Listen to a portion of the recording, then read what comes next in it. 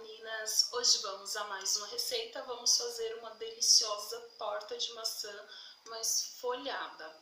É uma tortinha muito gostosa, prática e sensacional. Sem mais delongas, meninas, vamos à receita. Toda a descrição dos ingredientes estará na descrição do vídeo. Bom, aqui eu tenho as maçãs. Eu deixei ela com a casca, ó. É é bacana deixar. Se você não gostar, você pode tirar e fatiei em meia lua, fininha, ó. Não fina demasiado, mas meio milímetro. Bom, aqui eu coloquei um pouco de limão para que ela não, não oxide, né, não fique preta. E agora, meninas, para que a gente monte a nossa torta, consiga montar, eu vou colocar aqui um pouco de suco de laranja e levar ao micro-ondas por mais ou menos um minuto, para que ela fique maleável, não é cozida e virar um purê, para que ela simplesmente fique um pouco maleável. Eu vou mostrar para vocês. Bom, meninas, aqui eu levei, a minha durou em média uns 30, é, 30 minutos, ó, 2 minutos, ó. Ela fica assim, ó, e não quebra, maleável, mas não quebra, ó. É isso que eu quero para que a gente consiga montar as nossas tortinhas. Bom, sem, sem mais delongas, vamos começar a trabalhar a nossa massa. Bom, meninas, agora vamos começar a trabalhar a nossa massa. Aqui eu estou utilizando uma massa folhada pronta.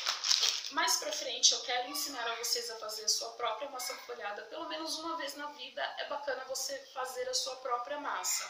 Mas hoje em dia existem marcas muito bacanas, muito boas, para que facilita muito a vida da gente. E aqui eu estou utilizando é, uma massa folhada, ela já vem assim em formato de quadrado, ó. Eu vou, vou como é que se fala? Polvilhar aqui um pouco de farinha. Pegar aqui, ó, a nossa massa. Como a minha ela é em, quadradinhos, eu vou cortar ela aqui ao meio. Que barulho, meu Deus. E vou emendar elas assim, meninas, ó.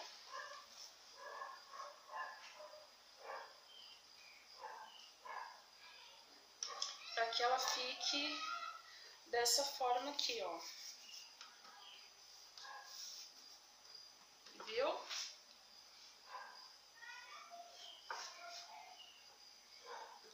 Só vou dar uma ajeitadinha aqui, ó, uma grudada com o rolo, para que ela não abra.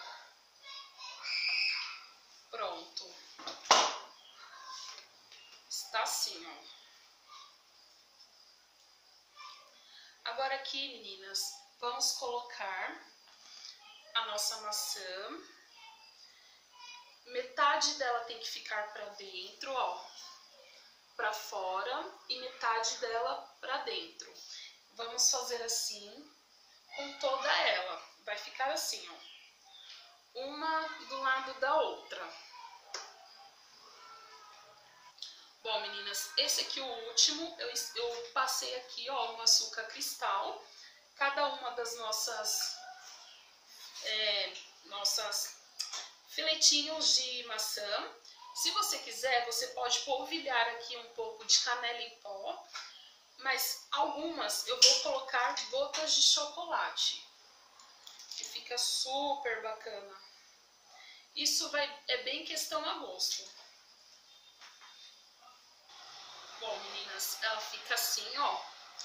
Aí, o que, que eu vou fazer? Eu vou pegar essa parte de baixo e vir aqui até metade, não para cobrir toda a maçã só até metade dela, ó. Aí vai ficar assim, ó. Ó. E assim, meninas, ó, para facilitar vocês visualizarem, vamos fazer assim. Agora vamos fazer um rolinho.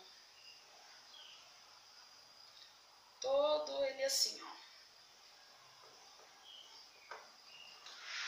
Pronto, meninas. Fica assim, ó, parecendo uma rosa. Muito linda.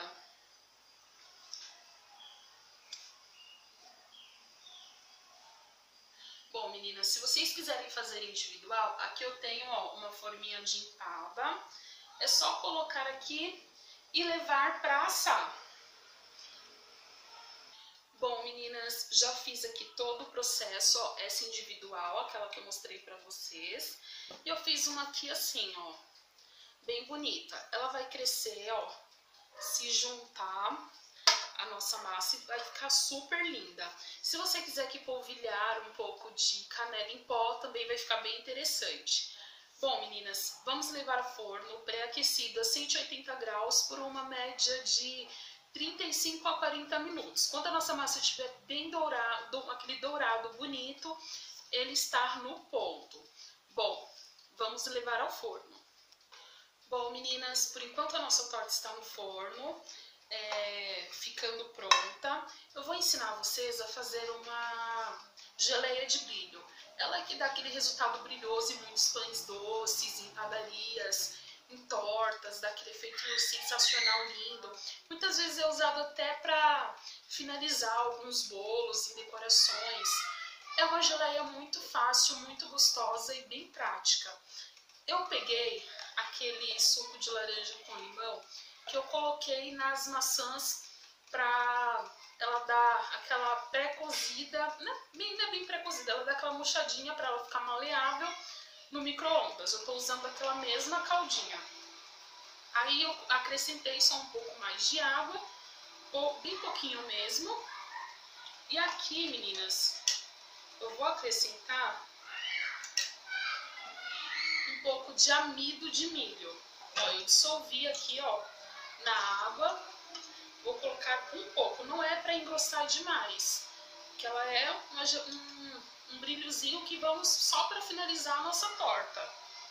E vamos deixar ferver bem. Eu vou mostrar o ponto para vocês como tem que ficar.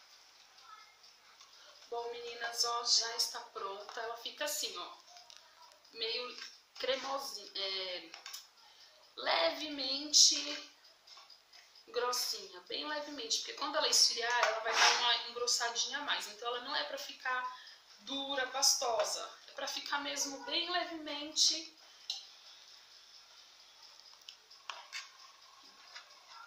bem assim, ó. Ela é uma geleinha mesmo. Ela fica leve, bem levemente, é consist, não é consistente, como eu posso dizer? É, levemente engrossado, sabe? Aquele engrossado bem ralinho. Isso, engrossado ralinho, ó. Agora vamos pegar a nossa torta e poder finalizar. Bom, meninas, ó, já finalizei aqui a minha torta, ó, dourada, extremamente bonita.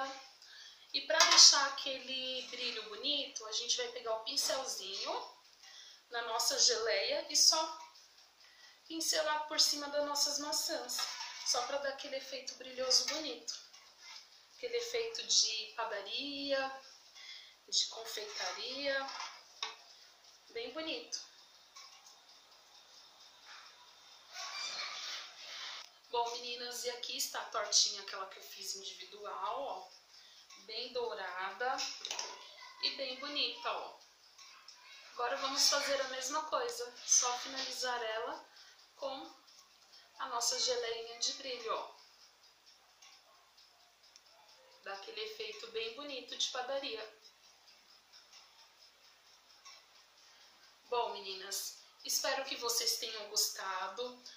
Ah, Antes de finalizar o vídeo, a forma que eu utilizei aqui foi uma forma de 15 por 10 e essa aqui é aquela forma de empada maior. É, no forno, no meu forno, foi uma média de 25 a 30 minutos. Como eu falo para vocês, isso depende muito de cada forno, meninas. Espero que vocês tenham gostado, meninas. Aproveitem muito bem a receita. Beijos, até o próximo vídeo.